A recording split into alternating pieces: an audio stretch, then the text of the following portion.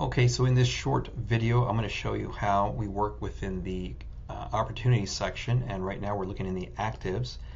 So we have this listing right here that is now going to be going under contract. So the first thing I want to look at is my checklist.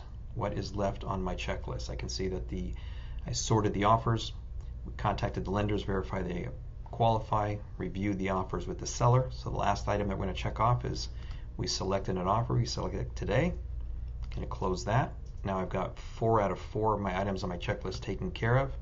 So here's under contract. We just grab this file and bring it over. I'm going to click on under contract.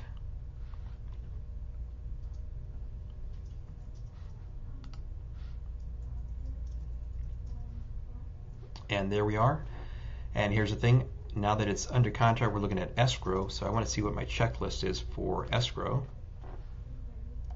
Four items we put together is wiring instructions being sent, EMD received by escrow, escrow instructions sent, escrow instructions signed.